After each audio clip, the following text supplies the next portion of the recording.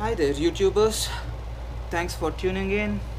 And as the title mentions, I want to quickly talk about the KT tape, uh, which you know, which I kind of use this time for avoiding any bruises or rubbing of my brand new hiking boots.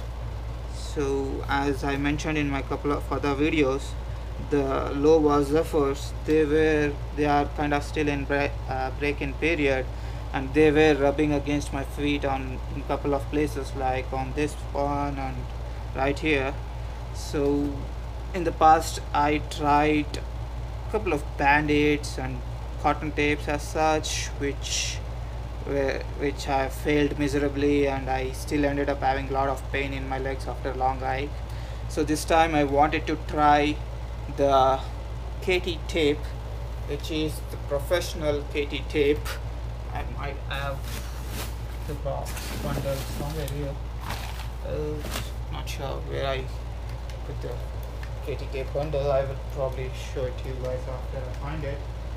And uh, yeah I just returned from a eight day road trip basically hiking and and uh, camping and I've had the KT tape for about four days now and over 20 miles of hiking. Uh, some of wet conditions where it definitely got wet as well. And it stayed on for four days you know. It kind of stayed perfectly on my skin wherever exactly on the same place I put it.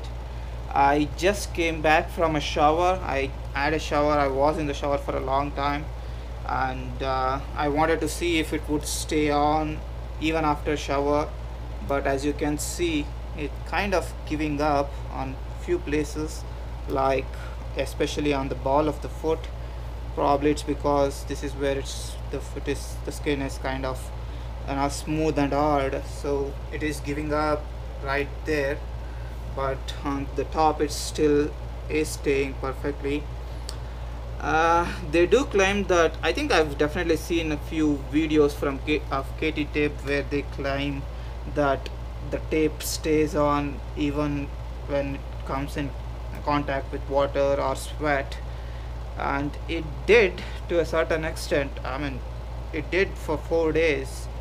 And uh, uh, come on uh, uh we don't get to have shower like every day in the forest right when we are up and hiking.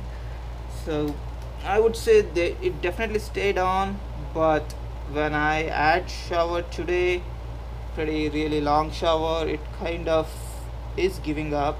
Oh okay. It does pull out some of my hair too.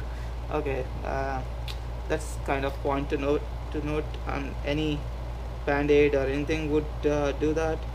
And it's kind of coming up easily after the shower. So I just wanted to see that if there is any itching or would it pull any of my hair but it did come up pretty easily after the shower. So uh, yeah I don't know if I would still recommend this product uh, because it's a $20 product for about like 40 tapes or so I believe. And uh, uh definitely did the job you know it kind of prevented all the rubbing or any bruises as such. Uh, when I was wearing the boots and I was hiking but if it comes in contact with water and maybe water and soap because I wasn't sure I was having soap all over it now. So maybe if it comes in contact with water and soap it might give up. So uh, yeah let's pull out this one too. I think uh, if you see it is also giving up on uh, uh, on the ball of the foot foot especially. But on the top side it still stays. After 25 miles of hiking it stayed there didn't move anywhere. I've seen I've, I've tried with band-aid a couple of times and I've seen band-aid that I put here goes up somewhere ends up somewhere here after a few miles of hike so that I wouldn't recommend that at all but uh, this yes it definitely stayed and it did the job that is to prevent the rubbing and the pain from the new boots and prevent any blisters. I don't know if uh, people really use these for you know uh, hiking preventing bruises and blisters while hiking but I just wanted to try them. So they definitely did the trick for me and I was wearing them with uh, you know a couple of cheap uh, liner socks one dollar socks from Dollar Tree and uh, again wool blended merino merino wool blended socks from Walmart. So uh, yeah my feet feels really great. I don't have any bruises rashes or you know pain from rubbing I definitely did over 20 miles of hiking with the tapes on.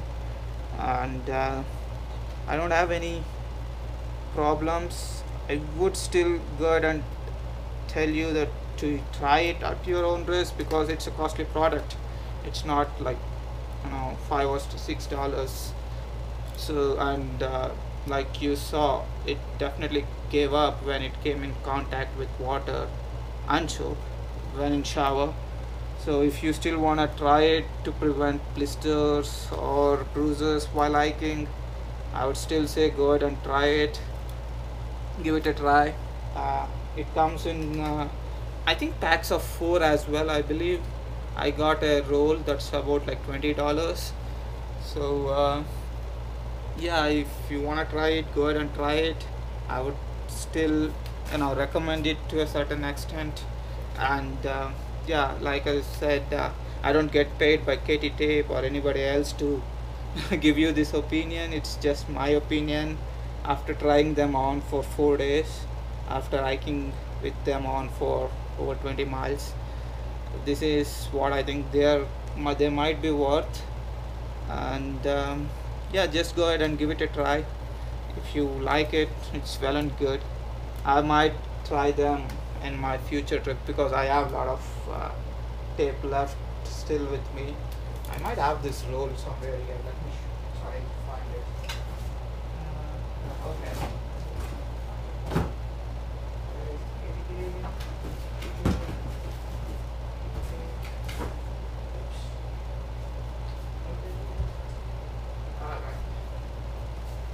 Okay. So uh, right okay here's the one. Okay, this is the one now the roll that I got. It's actually 20 strips and this one is called KT Tape Pro which costs like $20 for this roll. So it's definitely not cheap but it did the trick for me. It prevented the rubbing from my new boots which was really painful in the last couple of encounters a couple of hikes that I wore them without this KT tape.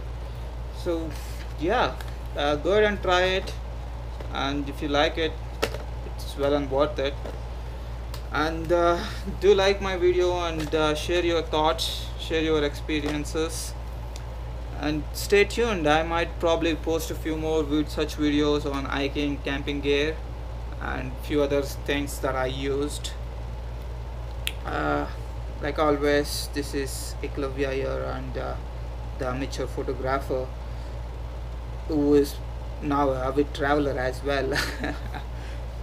Please do share and please do subscribe to my channel guys. Thanks a lot for tuning in.